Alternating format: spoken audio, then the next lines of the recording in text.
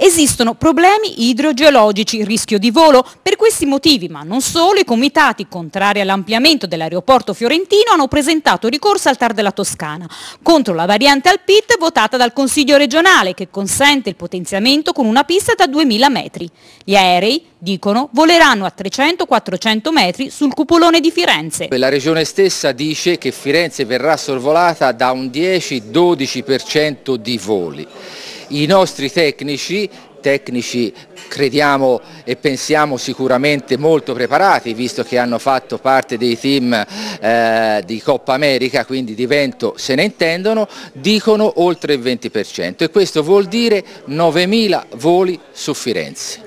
Secondo i comitati l'aeroporto dovrebbe essere messo in sicurezza mediante l'allungamento di 200 metri dell'attuale pista, che fra l'altro era già stato proposto dal consulente dell'assessore Marson.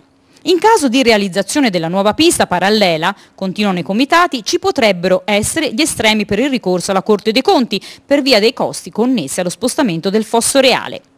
E a proposito dell'apertura di un tavolo istituzionale e della mancata presentazione di ricorso da parte del sindaco di Prato Biffoni, noi gliel'abbiamo detto, prendiamo atto della decisione che lui si è assunto, lui sa benissimo perché l'ha ripetuto anche ieri sera in forma pubblica che se lui non riuscirà a bloccare l'aeroporto si dovrà dimettere perché questo ha detto ieri sera. Quello che abbiamo sempre detto è che non sia un modo per ritardare, che non sia il solito modo per fare tavoli, tavolini, trattative per eh, far sì che l'opera poi non si faccia, si deve fare, l'abbiamo sempre detto, il governo su questo ci crede e ci punta. Il ricorso arriva da alcuni comitati però.